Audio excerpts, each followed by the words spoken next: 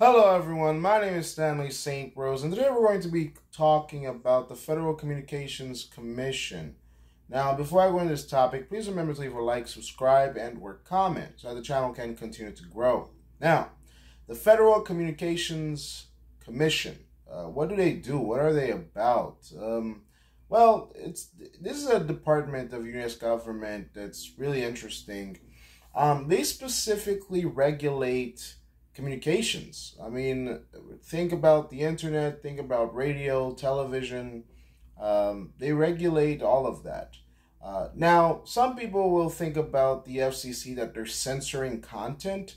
That's not really their job, all right? Um, you know, we have the First Amendment.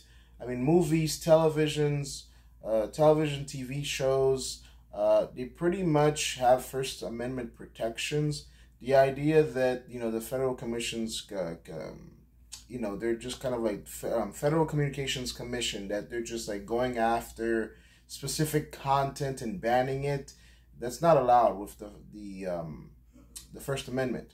So the primary job of the fcc all right federal communications commission uh, their primary job is to regulate all right? They don't want monopolies all right? If two companies want to merge um, that you know are extremely powerful, where they could, could create a monopoly. Uh, the the FCC is going to step in. They don't want monopolies. They want competition when it comes to uh, internet providers. These giants.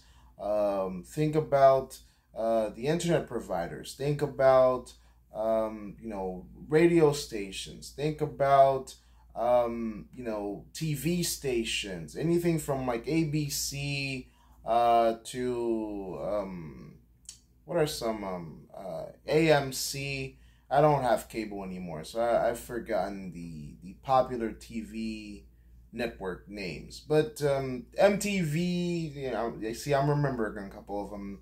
But um, for the most part, the FCC they monitor all these all these stations, channels, cables, internet, radio, satellite, you know, if it's a national uh, broadband, broadcast, whatever, network, you name it, the FCC monitors it. Um, they want to make sure, number one, that everybody has access to free and, um, not free, but to affordable and reliable, um, you know, communication networks, um, you know, with people with disabilities, people who can afford uh, the the average price. They have different programs to help people in this situation, those situations, um, have access. Because nowadays, if you don't have means of communications, if you don't have the internet, if you don't have a cell phone, uh, if you can't call anybody, uh, you're you're pretty much screwed. You know, I mean, there's not. I mean, in in the street, there's no payphones. All right there's no payphones. There's no free kiosk where you can just use a computer.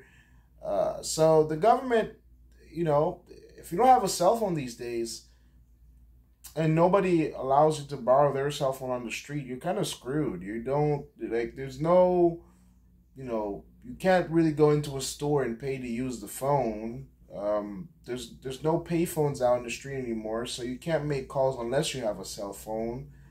Um, you know, you could have a quarter, you know, 50 years ago, 100, you know, 50 years ago, you could just have a quarter and go to any payphone and call any anything.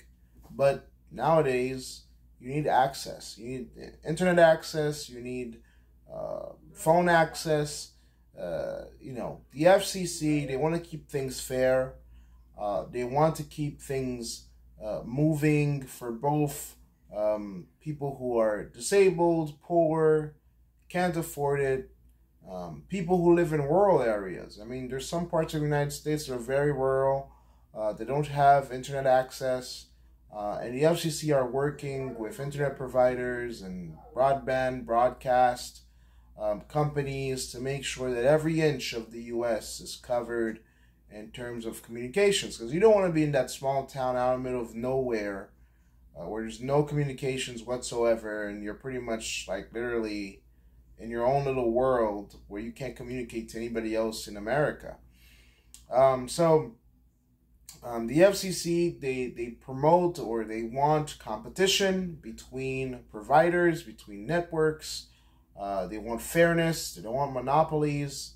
They police that. They enforce the laws in regards to communications, um, and um, they keep an eye. I mean, think about net neutrality. Um, the FCC is heavily involved with that. Uh, the FCC also set rules and regulations for companies that um, that you know that have national networks and local networks. Um, they pay attention to all of that.